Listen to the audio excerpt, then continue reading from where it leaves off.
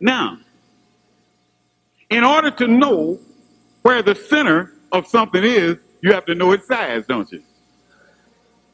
And according to mathematics, particularly according to geometry and trigonometry, if something's too big for you to physically measure, the only way that you can calculate its size, you got to first know its shape. Is that right?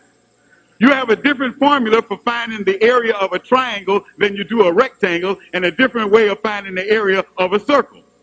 That's in plane geometry. Then when you get into sphere, into uh, solid geometry, you don't find how big a sphere is, a solid sphere, the same way you do a circle. You have a different way of doing it, a different formula altogether.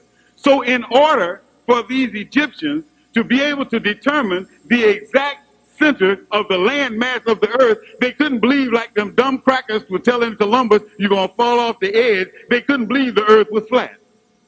They had to already know that the earth was round or spherical. In fact, the term, the name, geometry, comes from the word geos, meaning earth, and meter, meaning measure. Geometry, the science of geometry, is based upon the measurements of the earth. Now, when you and I went to school, some of you still going, but if you are, they're teaching you geometry. The geometry they're teaching you, no matter what school you go to, they're teaching you what they tell you is Euclidean geometry. Is, is that correct? Now, the word Euclidean is an adjective. That's a word that's used to describe something in order to distinguish it from something else that you might get it mixed up with if they didn't. So to say Euclidean geometry means that's to keep you from getting it confused with another geometry that is non-Euclidean. But why is it that you only know Euclidean geometry?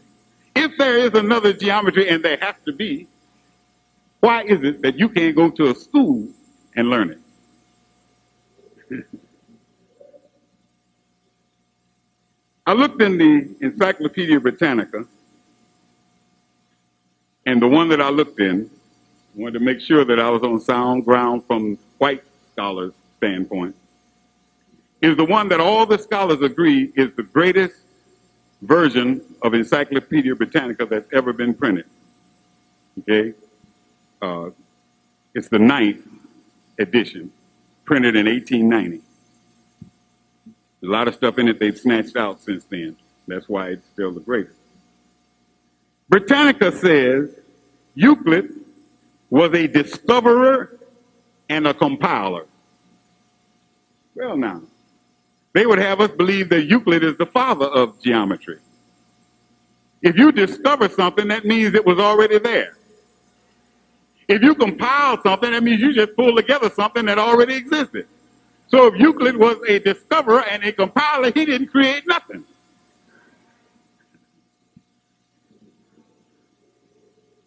Now, it goes on to say, as the introduction of geometry into Greece is by common consent attributed to Thales. You ever heard of Thales?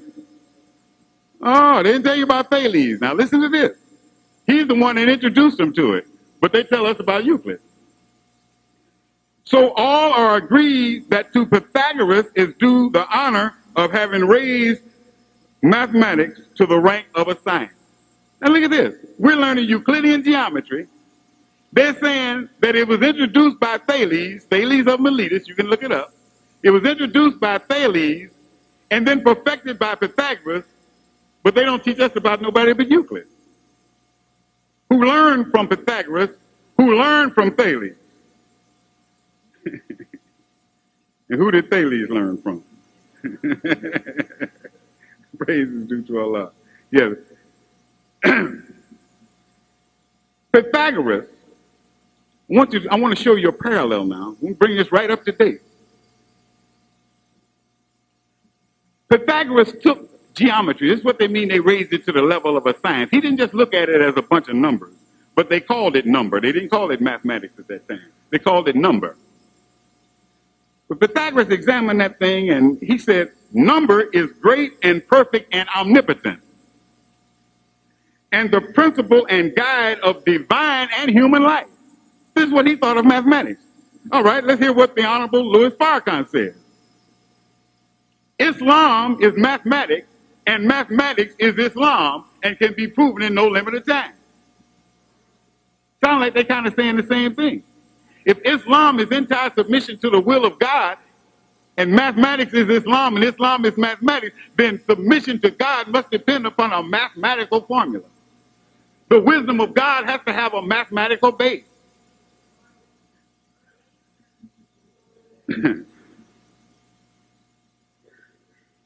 Pythagoras even dealt with the power of numbers and where it got its power. I want to show you again, comparison. He pointed out that there are two kinds of numbers, odd and even. And because they are opposite, the interrelation of them is what gives numbers their power. The Honorable Louis Farrakhan talks about the power in the universe, and he speaks of it as a collection of dialectics. Have you ever heard him say that? Dialectics. That's what makes up everything. You got right and left, good and evil, masculine and feminine, limited and unlimited, straight and crooked, rest and motion, light and darkness, singular and plural. Everything has an opposite. now, want to tell you what happened to this teaching of Pythagoras. And remember, i have just drew up, I just got through drawing a parallel. What Pythagoras was saying in his crude way, what the Honorable Louis Farrakhan is breaking down to us in a very refined and detailed way. They didn't do anything to Pythagoras. But when Pythagoras got old and retired to his home, the Greek government went every place that they knew people were gathering and learning Pythagoras' teaching. They not only killed the people, they tore down the building. Even if it was just a house with a family, if they were in there talking Pythagoras talk, the government sent their soldiers in, they would kill the people and burn down or tear down the house how dangerous that kind of teaching was to that civilization. Well, now here we are in an extension of that civilization. You studied world history, you know that America points all of Western, the white folks, um, Europe and America point their roots to Greece. Is that correct? Back to Rome, through Rome to Greece. So now, if Pythagoras was treated that way because he was a threat then, how do you think the Honorable Louis Farrakhan is viewed now? But they have another, they have another scheme for him to try and defeat his purpose. They spent a lot of time and a lot of effort inculcating us with the Bible. And they know that we can't grow up in America without having some knowledge of it and some belief in it. So the Jews, some of y'all say, oh, anti-Semite.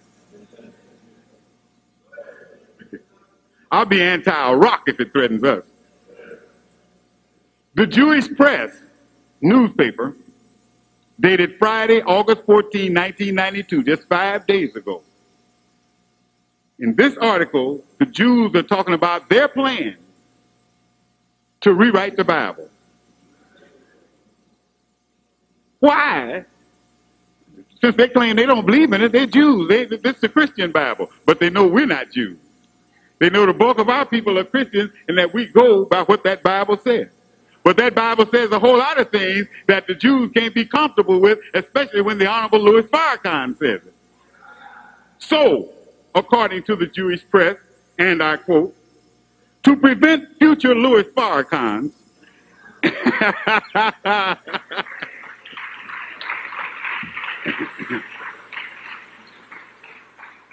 and radical right wing racists from inciting the unwary to hatred of Jews, many prominent theologians and scholars are recommending that future Bible translations be clarified. They're going to retranslate it now because of our leaders. Charles Obrecht of the Institute of Christian Jewish Studies in Baltimore states that changing the text from the Jews to the Judean leaders would be a good idea. Eh? Because if you understand the Bible, and you can't sit under the Honorable Louis Farrakhan and not begin to see that bad boy for what it is. And when you look in there and see what the Bible really says about the Jews, then you see them for the first time as they really are. So now, because the Honorable Louis Farrakhan has exposed them, now they want to go back and change the book. And where it says Jews, they want to change and make it generic, the Judeans. There's people who live in Judea, and they might be Arabs. They had some Africans living in Judea. They had folks from all over the world living in Judea. So it wasn't the Judeans, it was the Jews that hated Jesus and that lynched Jesus.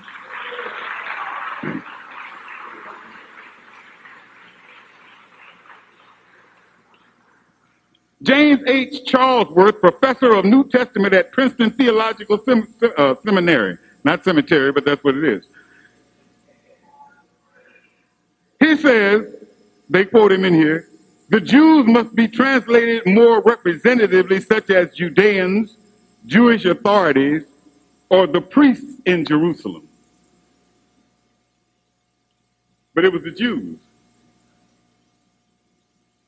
See, I know that all of us have been taught that the Roman soldiers crucified Jesus. That ain't what the Bible says. The Bible says Pontius Pilate turned them over to the Jews. Now, anytime there's a big crowd going on that is not sanctioned by the government, they're going to put some officers there for crowd control, right? That don't mean they're taking part in what's going on, the demonstration, whatever. They're there for crowd control. See that it doesn't get out of hand. Can't you see that there would be Roman soldiers there if the Jews getting ready to lynch one of, one of the people? Well, he said, no, but they had a whole bunch of Roman soldiers. Read your Bible. If You want to know how many Roman soldiers were at the crucifixion? Read the story of the crucifixion in the Bible. Didn't it say that they cast lots to see who was going to get his robe? And didn't it say they finally decided they would divide it?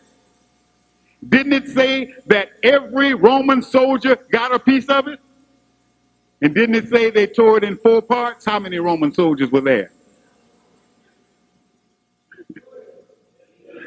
It's plain.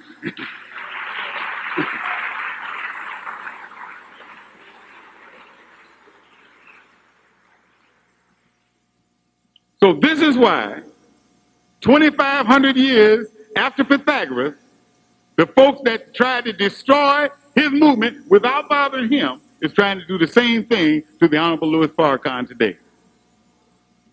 Now, Thales, this is what the Britannica says about Thales of Miletus. Universally recognized as the founder of Greek geometry, astronomy, and philosophy. He never had any teacher except during the time when he went to Egypt and associated with the priests. Now, this is the man that brought geometry to the white world. geometry, astronomy, and philosophy. But he went to the temple in Alexandria, and that's where he studied. Now,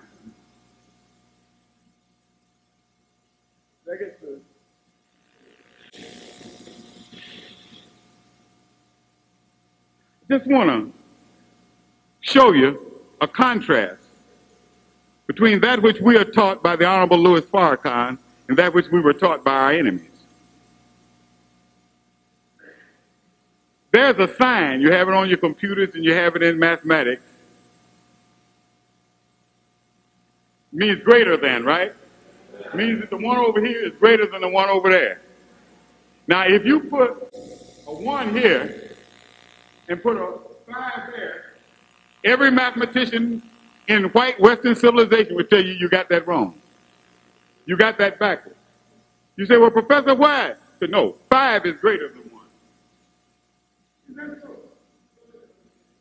Let's find out if five is greater than one. In mathematics, there is a thing called a syllogism. And it's stated in words that things equal to the same thing are equal to each other. Is that correct? If A equals B and B equals C, then A equals B. Because they're both equal to B. If they're equal to the same thing, they got to be equal to each other. Okay? We're together, right? Let's take that syllogism.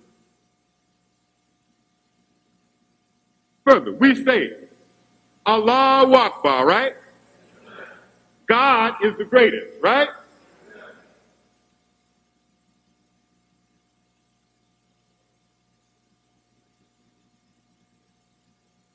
We also so say there is no God but Allah. God is one, right?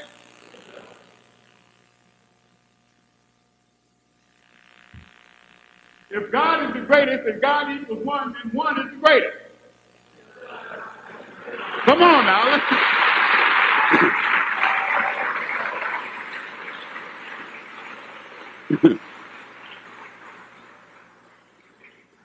Can't deny mathematics.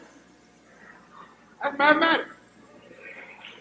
Now, we do back up on it, though, just so you won't be nervous about it and think we just pulled the trick. Which is greater? Something that is dependent or something that is independent? Independent, right? Okay. Now here's that five again. Believe me, that's a five. The one thing I never did good in this school was penmanship.